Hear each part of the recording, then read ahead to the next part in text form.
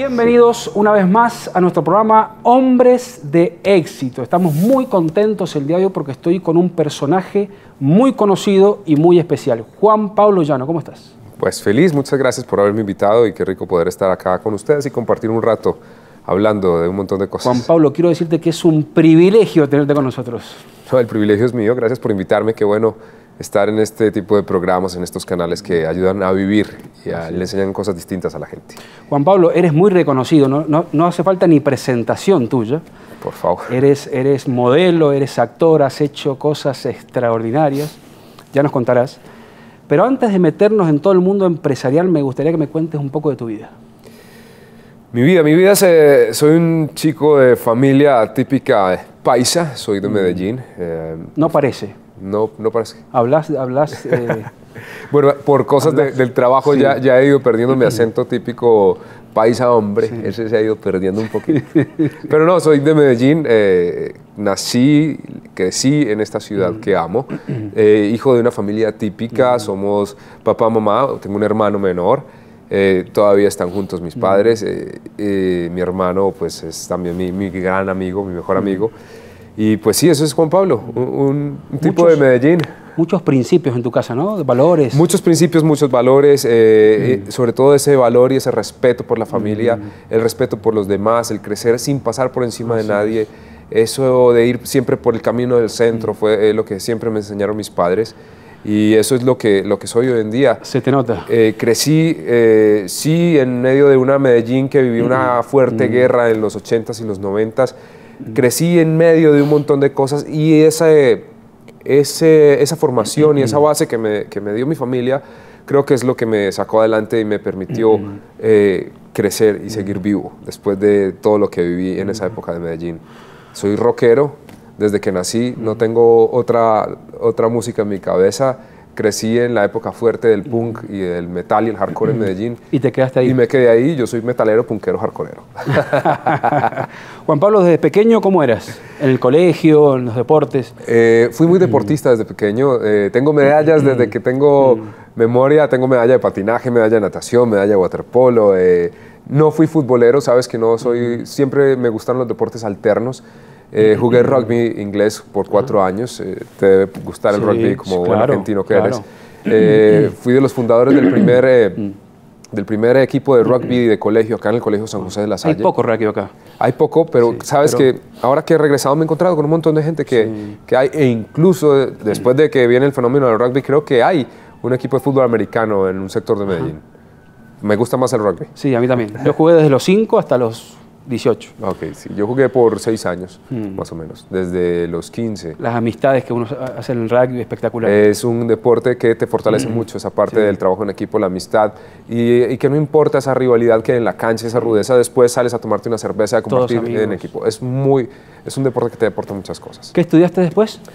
Eh, bueno, me gradué como bachiller del Colegio San José de la Salle, eh, de los hermanos lasallistas, y decido entrar a estudiar, soy bachiller en matemáticas.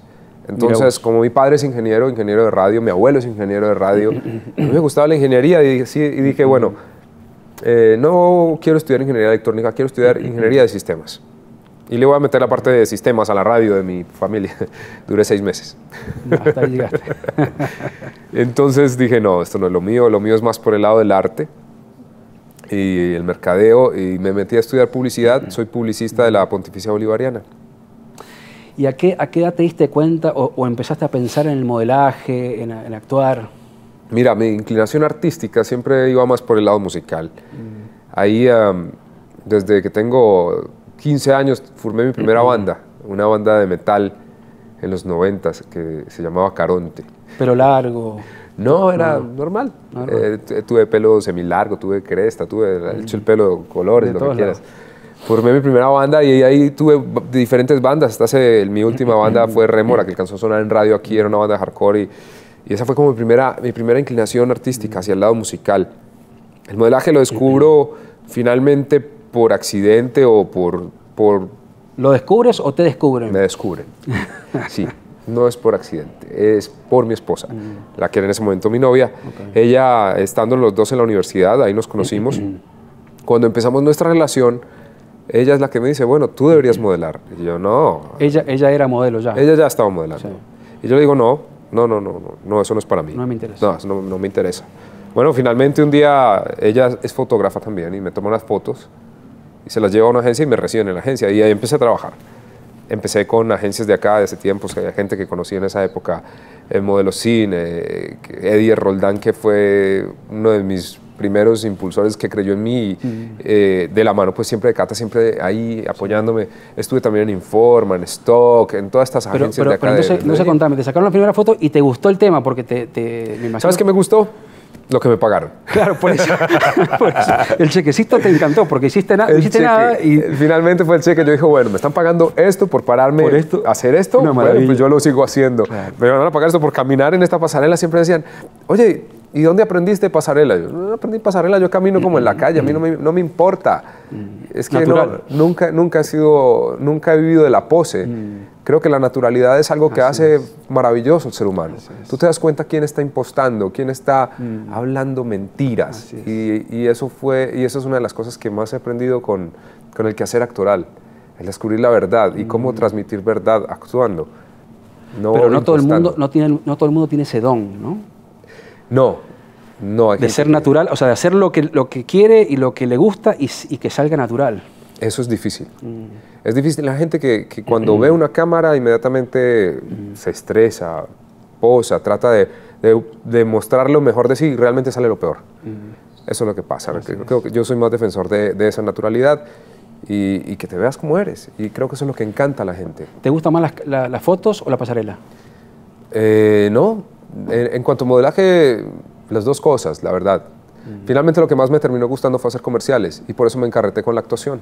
Ahí empezaste la Ahí actuación. fue cuando vino, me picó y empecé a hacer eh, comerciales y, y un día dije, bueno, a mí me gusta esto, ¿qué tengo que hacer? Me tengo que preparar, no puedo llegar a, a- a Sí, eso, no es caminar solamente y ya, ¿no? No, no Eso puedo ya- llegar a, a actuar porque Sí. soy modelo, porque voy a posar. Y la actuación tiene que ser natural, no puede ser. Y es un proceso. Y no lo primero que hagas no va a ser lo mejor. Y cada vez que vas haciendo, vas aprendiendo cada, cada vez más cosas. Y te van llevando y te vas moviendo por, un, por una rama, por un estilo. Y vas encontrando lo tuyo, la forma, la identidad, ¿no? la identidad actoral. Eso fue lo que me movió a mí a ponerme a actuar. Entonces ahí un día conozco a Manolo Cardona en un desfile aquí en Medellín y yo le digo a él, bueno, Manolo, vos eras modelo, entonces, ¿Cómo hiciste para...? ¿cómo vamos a hacer? Yo quiero. Me dijo, ok, me pasó el teléfono de la que es mi actual representante. Me encantaría, Juan Pablo, que cuando volvamos al corte me cuentes toda tu historia de actor. Vale. Ya volvemos.